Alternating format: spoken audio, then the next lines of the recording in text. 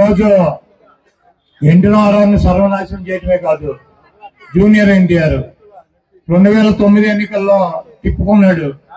Accident అయి ప్రాణం బాగుపడుతున్నటువంటి పరిస్థితిలోకి వచ్చాడు. అతను కొడుకు పప్పుగాడు ఈ తుప్పుగాడు కొడుకు పప్పుగాడు ఉన్నాడు లోకేష్. వాడికి తా అంటే తందానా అంటాడు. వాడికి వాడికి పుట్టినరోజుకి చావుకి కూడా తెలవన తేడా తెలవనటువంటి పనికిరానటువంటి వెధవ వాడు. వాడిని తీసుకొచ్చా ఆ తెలుగుదేశం పార్టీకి ముఖ్యమంత్రిని చేయాలి అధ్యక్షుడిని చేయాలని చెప్పి ఆ ఎన్టీఆర్ జూనియర్ ఎన్టీఆర్ చెన్నాని మీద అనేక కుట్రలు చేసి అతన్ని అనేక రకాలుగా ఇబ్బంది పెట్టేటువంటి పరిస్థితి ఉంటుంది.